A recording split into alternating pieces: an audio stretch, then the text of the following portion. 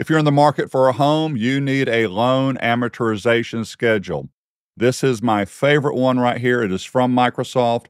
You can download it for free. I will not ask you for any information. Let's dive into it right now.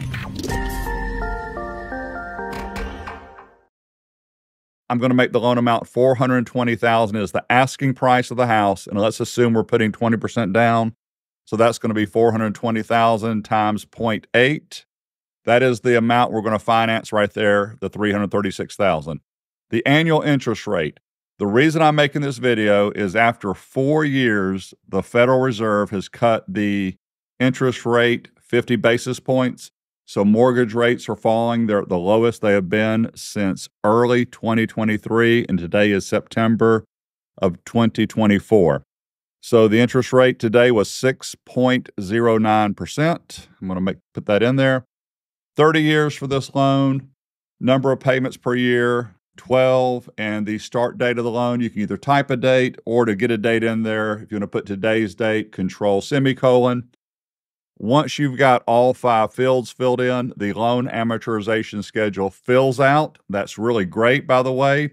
We start with payment one, and I'm not going to scroll down, but we end up with payment 360, and the thing is paid off in full then.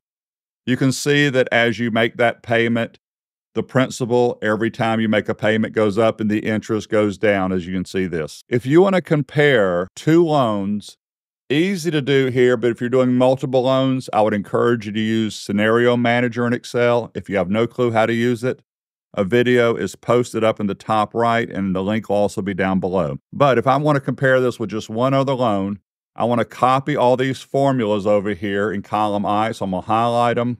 Just going to right click and drag them over into J, let go, and copy here as values only.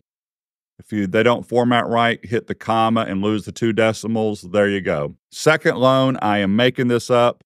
Instead of a $420,000 asking price for the house, there's another house, and I'm making this up. It's 446,000.